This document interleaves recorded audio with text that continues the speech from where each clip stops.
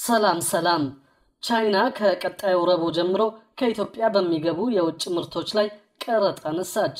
ቻይና ከቀጣዩ ረቡዕ ጀምሮ ከኢትዮጵያ በሚገቡ የውጭ ምርቶች ላይ ቀረጥ ማንሳቷን አስታውቃለች።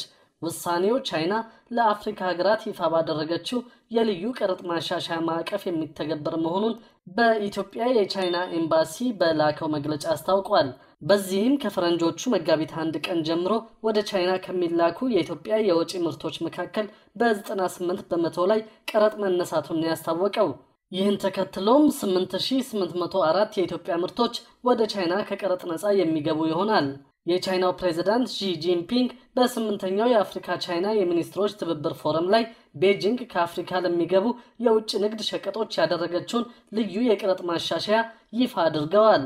በዚህ ወቅትም ኢትዮጵያ ወደ ቻይና ከምትልካቸው ሸቀጦች መካከል ከፈረንጆቹ መጋቢት አንድ ቀን ጀምሮ 98 በመቶ በዚሁ የልዩ ቀረጥ ማሻሻያ ከቀረጥ ነፃ ይገባል ተብሏል። ይህም የሀገራቱን የኢኮኖሚ ግንኙነት በማጠናከር ተጠቃሚነታቸውን እንደሚያጎለብት ታምኖበታል። ከ1800 በላይ የኢትዮጵያ ምርቶች ከቀረጥ ነፃ ወደ አገሯ እንዲገቡ ቻይና የፈቀደችው ባለፈው ታህሳስ ነበር።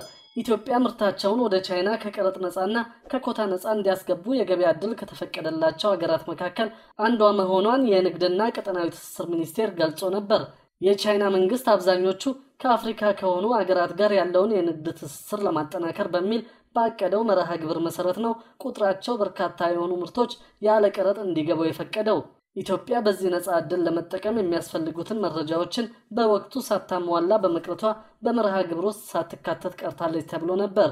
ነገር ግን በንግድና ቀጠናዊ ትስስር ሚኒስቴር የሕዝብ ግንኙነትና ኮሚኒኬሽን ዋና ዳይሬክተር ወይዘሮ ቁም ነገር እውነቱ የኢትዮጵያ ምርቶች ከቀረጥ ነፃ ወደ ቻይና እንዲገቡ መፈቀዱን በወቅቱ ተናግረዋል።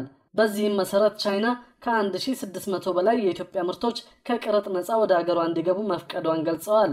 ይህም አሃዝ በአጠቃላይ የንግድ ልውውጥ ከሚደረግባቸው 6422 ምርቶች መካከል 1644ቱን ምርቶች ከቀረጥ ነፃና ከኮታ ነፃ ማስገባት እንደሚቻል ተገልጿል። የንግድና ቀጠናዊ ትስስር ሚኒስቴር እንዳለው ይህ የገበያ ዕድል ከቻይና በኩል ብቻ የተሰጠ ሲሆን ኢትዮጵያ በዚህ ዕድል ተጠቃሚ ስትሆን የሚጠበቅባት ምንም አይነት ግዴታ የለም።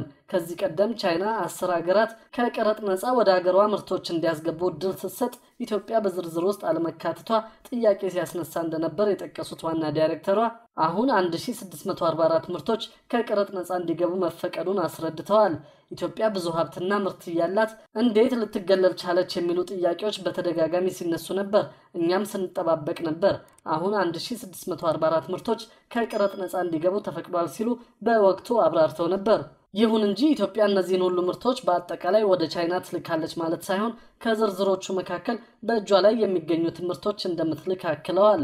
ለምሳሌ የብረታ ብረት እጥረት እያለ እንዴት ወደ ውጭ መላክ ይቻላል የሚሉ ጥያቄዎች እየተነሱ እንደሆነ የጠቀሱት ዋና ዳይሬክተሯ ኢትዮጵያ ወደ ቻይና መላክ የምትችለው የታወቁ ወደ ውጭ የሚላኩ ምርቶችን ይሆናል ብለዋል። እነዚህም ኢትዮጵያ እስካሁን ለተለያዩ የዓለም ገበያዎች በማቅረብ የምትታወቅባቸው ከቁም እንስሳት፣ ከቅባት እህሎችና ከግብርና ምርቶች ጋር የተያያዙ ሲሆኑ በተጨማሪም በቻይና ፈቃድ ከተሰጣቸው ምርቶች ውስጥም ሌሎች ከኢትዮጵያ ወደ ቻይና የሚላኩ እንደሚኖሩ ኃላፊዋ ተናግረዋል። ቻይና ከቀረጥ ነፃ ወደ ሀገሯ እንዲገቡ ከፈቀደቻቸው በርካታ አይነት የምርቶች ዝርዝር ውስጥ አሁን ለመላክ የምትችላቸውን በቀዳሚነት የምታቀርብ መሆኑም ተገልጿል። ነገር ግን በሂደት ለኢትዮጵያ ከተፈቀዱት ምርቶች ውስጥ በስፋት አምርታ ለገበያ ማቅረብ ከቻለች የተሻለ የውጭ ምንዛሬ ለማስገባት እድል እንዳላት ዳይሬክተሯ አመልክተዋል።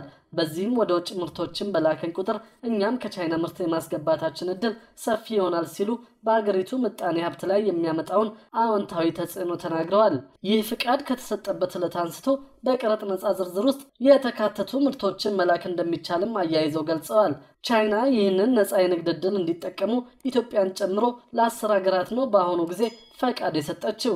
ቀደም ሲል ለረዥም ጊዜ የቆየ ተመሳሳይ ዕድልን አሜሪካ አጓ በሚል ስያሜ ኢትዮጵያም ለተካተተችባቸው በማደግ ላይ ላሉ ሀገራት ሰጣ ምርቶችን ከቀረጥና ከታሪፍ ነፃ እያስገቡ ይገኛሉ።